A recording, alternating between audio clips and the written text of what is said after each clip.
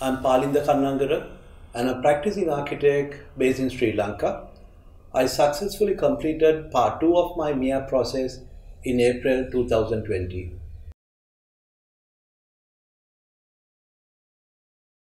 My motivation for becoming an RIBA member was that being a small practice rooted to the island of Sri Lanka and working across the breadth of the country from wetland to the dry zone and from hills to the coast uh, and on a diverse palette of projects from hydroelectric, wind power, residential, hospitality, and religious, using simple available materials and unsophisticated building techniques, but with the sense of experimentation um, to create buildings that are contextual and so have a global platform for professional evaluation and knowledge exchange is extremely beneficial and it is a great opportunity for interact and exchange of work and ideas.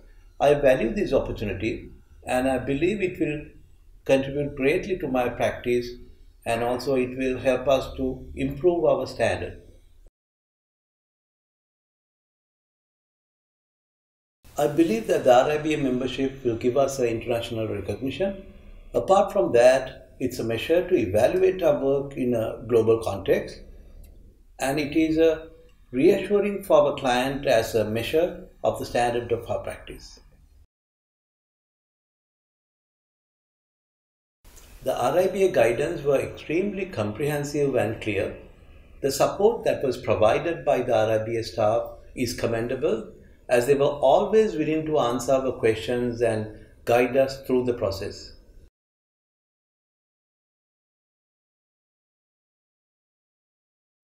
When it comes to mapping the project, the RIBA criteria is vast and it's a thorough professional evaluation.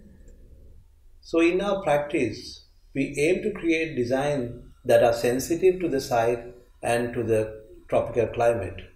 So these factors allow our work to be technically, aesthetically, socially and environmentally oriented. Therefore, it was easy for us to map our projects against the given criteria.